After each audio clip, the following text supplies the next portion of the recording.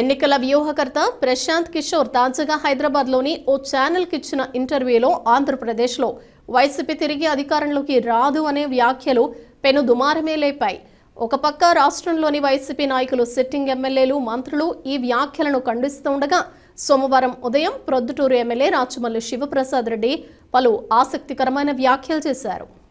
అదే ప్రశా అదే కిషోరే ఒక పదహైదు రోజుల ముందు స్టేట్మెంట్ ఇచ్చినాడు. చదివిన నేను. పదహైదు రోజుల ముందు. తెలుగుదేశం పార్టీ ఓడిపోబోతోంది. తెలుగుదేశం పార్టీకి నలభై సీట్ల కంటే రావు. జగన్మోహన్ రెడ్డి గెలవబోతున్నాడు. ఓడిపోయే పార్టీకి నేను పనిచేయనని కూడా సందర్భంలో చెప్పినాడు. అదే ప్రశాంత్ కిషోర్ చేత ఇప్పుడు తెలుగుదేశం పార్టీకి సీట్లు ఎక్కువ వస్తాయని చెప్పి చెప్పిస్తున్నారు. అయినా అప్పుడు చెప్పినా ఇప్పుడు చెప్పినా ప్రశాంత్ కిషోర్ అనే వ్యక్తి ఒక వ్యక్తే కదా. అతనేం జనం కాదు కదా.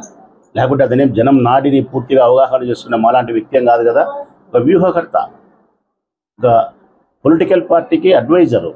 అడ్వైజరే కానీ క్షేత్రస్థాయిలో ఉండే ప్రజా సమస్యలు పరిష్కరించేవాడు కాదు.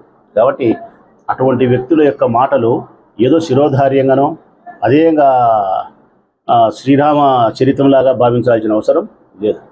దేశంలో ఉండే అన్ని సర్వేలు సర్వేలు అంటే కొద్దిగా సైంటిఫిక్గా ఉండేటివి.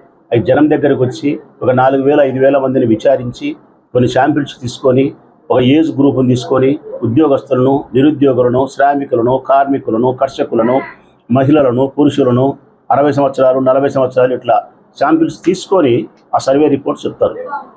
అది కొద్దిగా రీజన్ సైంటిఫిక్ రీజన్. శాస్త్రీయమైనటువంటి విధానం ఉంది.